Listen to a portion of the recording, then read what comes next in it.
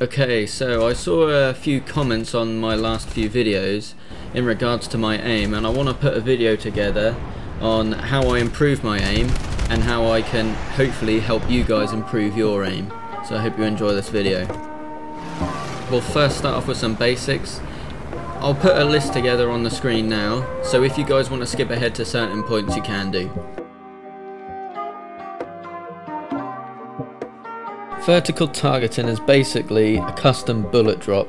With it off you'll have the same drop off of your rounds. If you have it on your bullets will curve up to then hit your set distance. Convergence is where your bullets will cross over in the air. As you can see this only matters for wing mounted guns and not for nose mounted. I've explained vertical targeting and convergence but I'll now show you the difference in game. With vertical targeting on, all I need to do is put my crosshair on the plane at 600 meters and shoot. With it off and I put my crosshair on the plane at 600 meters, the bullets will fly under the plane. However, with it on, you'll need to consider that at closer distances, you'll need to aim under the plane due to the bullets trying to loop over to meet your distance. I recommend picking 600 as your distance for convergence and just choose vertical targeting on or off. Just pick one.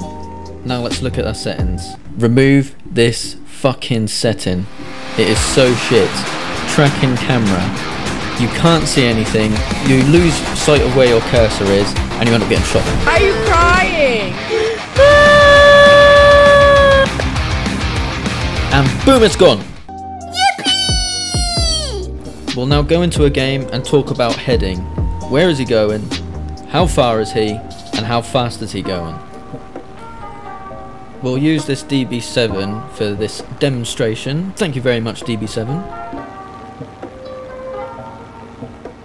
So what I'm visualizing is a line in the direction he looks like he is heading and I'm going to do a tracking shot. So I'm still moving my cursor and hoping that most of my rounds will hit the target. I have this BF109 here as my willing volunteer and participant for this demonstration. He is following my teammate, so I know I can draw a line for the trajectory he's going. He's under 0.5 miles away from me, so I can aim 3 plane lengths ahead. So always remember, under half a mile or 0.8 kilometers, you can aim roughly 3 to 5 plane lengths ahead.